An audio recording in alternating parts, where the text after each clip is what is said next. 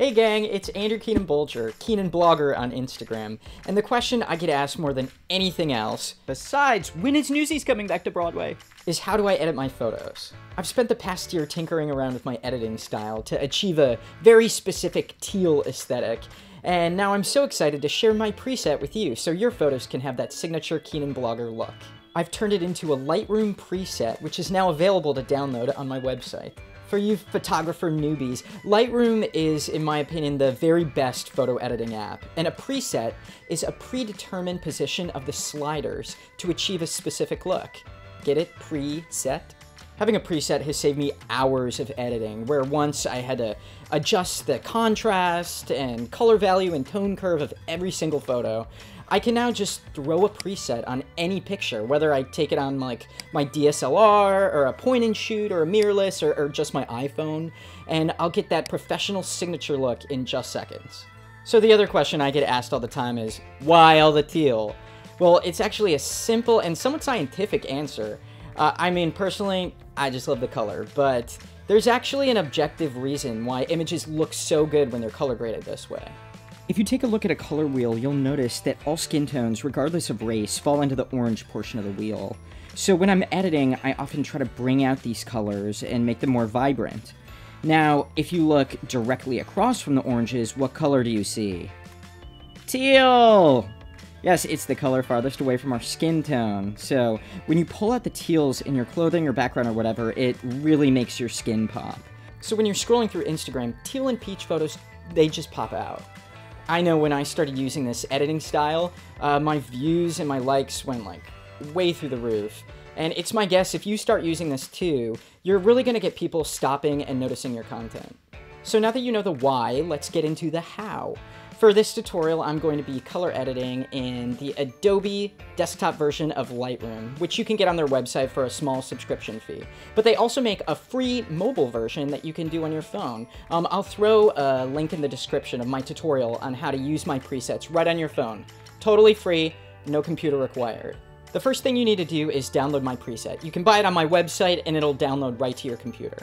Okay, so go ahead and open the Lightroom app and you're going to go to File, Import Profiles and Presets, and uh, you're going to find the location of wherever you downloaded my preset. So uh, I saved mine to desktop preset images, and it's called tealkbpreset.xmp. So click on it, click Import, and you'll now notice if you go to the preset button, um, under user presets, scroll down, I've got a few others here, uh, you'll see the teal KB preset. So you want to just click on it, and you'll see immediately it has added the preset to this image. So this already looks pretty great. You can also, if you want, um, right above the enter return key, uh, there's like a straight slash, and this can go to show you your original, and you toggle it again, and it shows you the corrected one.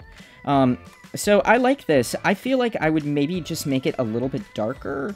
Uh, so I would go up to here to light and exposure. Um, it's a little bit bright for me, so I'm just going to move it down. Um, yeah, and honestly, I think that's pretty much ready to go. That looks perfect. You'll see the teals are really brought out. I think the skin looks really nice, super sharp. Uh, if you go in, you'll see like how good it looks. There's a little bit of grain that I added. Uh, looks pretty sharp. So the great thing about this preset, and kind of a secret that I'm revealing to you today, is to get that teal aesthetic, you don't only have to photograph teal things. Really anything in the blue or green world can be pushed into teals. Okay, so we've got this image right here, and you'll notice uh, I'm going to throw on the teal preset. Uh, and you know, it's meant to make the teals a lot brighter, but because there's not really any teal in this picture, uh, it's only making it a little bit more vibrant. So what you can do, though, is you scroll down uh, to the color mixer, uh, and you're to click on this actual teal circle. And uh, instead of taking it more in the greens, you can actually slide the hue over to the blue side. So now you'll see it's like this really nice kind of peacock teal color um, that I really love, and that would work super well in my aesthetic. if you toggle back and forth. Yeah, that looks awesome. I'm even going to honestly move it a little bit more. And uh, I think I'm going to bring the luminance, which is brightness, up a little bit. Um, yeah, so check the before and after. Looks awesome. So this preset is optimized for people shooting raw photos. It's basically a huge file that you shoot with on your point and shoot or mirrorless or DSLR, and it has the most color detail. I'd recommend anyone who's serious about photography to shoot in this format. It can usually be found in the menu of your camera, and if you're having trouble locating it, check your user manual. Uh, I'm going to show you just how powerful raw images can be coupled with the flexibility of my preset to give you the best possible image, even if the image doesn't look totally amazing right out of the camera.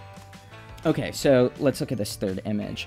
Uh, good image, like it's pretty well balanced, but um, this does not fit in my aesthetic at all. There's truly no teal in sight. Uh, so what I'm gonna do is first throw on the preset, um, ah, see, this looks crazy. Um, and it's because it was shot uh, right kind of at sundown. Um, so it obviously looks very blue. So what you're going to go over to is the temperature tab. And uh, you'll just slowly start dragging it a little bit closer, warming it up a bit. And as you do that, naturally, you are going to start seeing some teals emerge, like really right here in these flowers. Um, the the whole like foliage just has a nice, rich kind of like viridian uh, blue-green effect, uh, and I, I, really like this. I would also probably uh, lighten it a little bit, uh, bump up the exposure um, up here, and yeah, I, I really like this image. I think this is beautiful, especially the before and after. Like, I'm super happy with this. So that's it.